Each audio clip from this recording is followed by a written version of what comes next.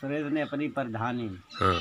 हमारे खेत की लेबलिंग के नाय से ग्यारह हज़ार चार सौ रुपया निकाल रहे थे हमने जब इनसे पूछी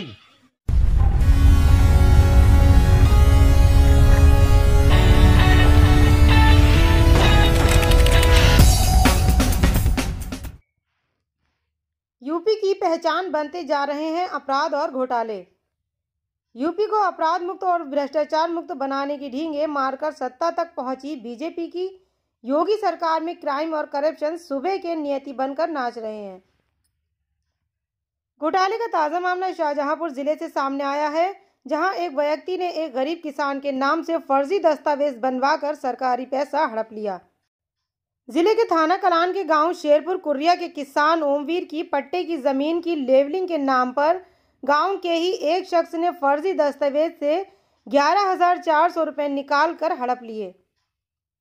ओमवीर ने डीएम से शिकायत करके कार्रवाई की मांग की है। नाम है तुम्हारा? ओम वीर कहाँ के रहने वाले हो? थाना? कलान। क्या मामला है तुम्हारा? हमारे मिलने सुरेश ने अपनी प्रधानी। हाँ। हमारे खेत की लेबलिंग के नाय से ग्यारह हज़ार चार सौ रुपया निकाल रहे थे हमने जब इनसे पूछी तब ये जाए के हमें पता लगो। हम्म। हमने इनसे पूछी। हाँ, पूछी जाए के तो हमसे जा कही हमें मार उल्टी सीधी गालियाँ दी हमें दोबारे से।